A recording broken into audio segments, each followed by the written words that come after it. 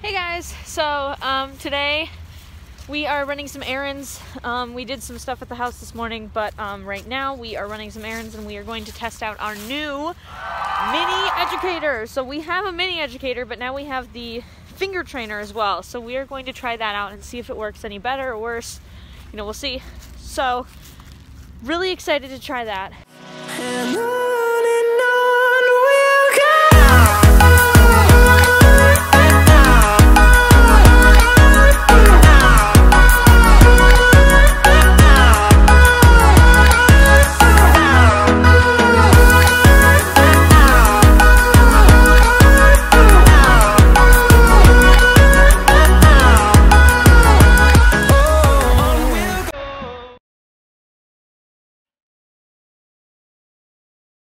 So to test out our new uh, mini educator with finger trainer, um, we decided to take Arlo to a local park for the beginning part of our testing, just to see how it does kind of long distance um, in like a big field with you know possible things that could be in between it, like trees or playground equipment, stuff like that.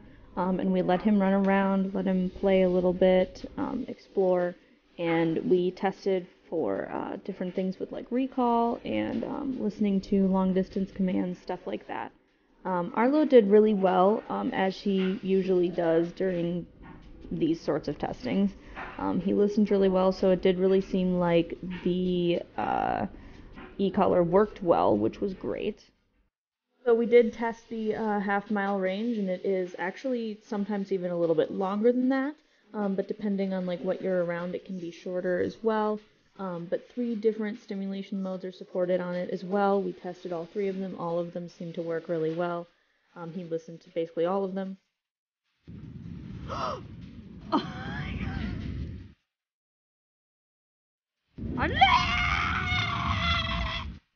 As you can see, we had a lot of fun testing. Um, but the nicest part about this whole thing is obviously the finger trainer button. So um, it has a really nice little Velcro strap that's really light, so it's not like annoying and obvious that it's on you all the time. Um, it's not too bulky, so even me with my teeny hands, I was able to have it on and like not have too many problems. And then, of course, we did also test it out in a working environment. Um, so we went into a couple stores, dressing rooms, areas like that electronics store and I, I worked with him with the collar on just to make sure there wasn't any like huge difference between the mini educator and the finger trainer and it really was only the benefit of also having the finger button. That seemed to be the case. Um, basically the remotes are identical. Um, so there wasn't really any difference there. The only thing that was sort of weird is, you know, having to change the batteries on the little finger button. That's the only thing that I would really suggest that they change. Um, the radius is the same. Everything else is the same. All the button setup is exactly the same. Um, so I didn't really have that much of a problem like transitioning from my original mini educator to the finger trainer. Um, it wasn't like an issue at all. The only thing is like forgetting to use the finger button. So like I would consistently forget that I had it, which was sort of frustrating. Um, but um, the on off button is exactly the same. Everything on the remote is the same. So I would say that it's pretty simple um, to transition between the two. If you're nervous about that, don't be. It's really simple. Um, and it's it's great for working dogs because I think that it just it's really helpful when you don't have to hold that big bulky thing all the time because a lot of people who have service dogs, their main focus shouldn't always be their dog when they're out their main focus should be on whatever they're out for. So if you have to, um, you know, do different things, your dog should be able to listen uh, and not have to hold like not take up a giant space in your hand. So having like the finger trainer is a lot more helpful in the way that it's not taking up like that huge amount of space that the regular remote would. Um, and it's really discreet as well for people who might be a little bit more nervous about like people seeing that you're holding an um, an e-collar remote and like they know that you're doing stimulus on your dog. So like I've had people judge me like that before for things like that as well and I've constantly been nervous about it. So the discreetness of the finger trainer ring was a really nice change to like, you know, the judgment of before. I didn't get any questions about it like I normally would, um, which I don't know, could be a benefit for some people who like to be advocates. For me, I just like to get go on with my day. So, um, having it be a little bit more discreet was a nice change for us.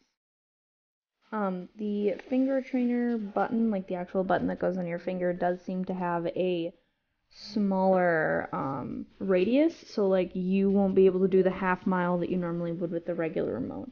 However, I'd say that if it is on your finger, that you might be like less needing to do like long range corrections. So I would say that it's a it is a um, worth it uh, loss there. I would say that it is definitely worth it to be able to um, have it be so much smaller, so much lighter, so much more discreet, um, that sort of thing. I would say that that's definitely worth it um, in the long run.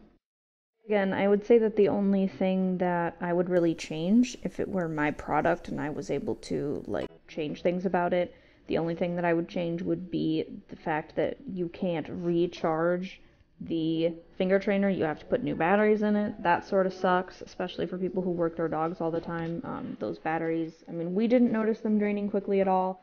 Like for us, that was not like a problem. But then again, I wasn't using the finger trainer solely, so like I wasn't using it by itself. I had the remote with me as well. So yeah, that's just about everything that we had to say about the new uh, finger trainer. It's been great for us. I am still really enjoying using it after a couple months of use. Um, so it's still great. I love it. it. We keep it around all the time, you know. Um, and the finger button has been helpful, although I still keep forgetting to use it. Um, but when we do test it out, it always works great. So that's probably the only thing I would change is the battery thing. But yeah. So thank you guys so much for watching, and we will see you guys in whatever we make next.